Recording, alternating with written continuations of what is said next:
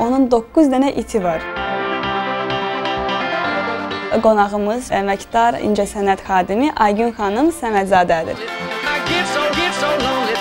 İç sənə dost olar bir sümük atsan, namərd qədir bilməz, olsan da qurban. Həyatımın elə bil ki, müəyyən bir hissəsi artıq onlarla bağlıdır. Aygün xanım o qədər maraqlı danışırsınız ki, adam sizin sözünüzü kəsmək istəmir. Aygün xanımın evində sevimli itləri ilə keçirdiyi asudə vaxtı studiyamızdakı maraqlı söhbətlərini iyulun 28-i saat 20-də Lider TV-də izləyin.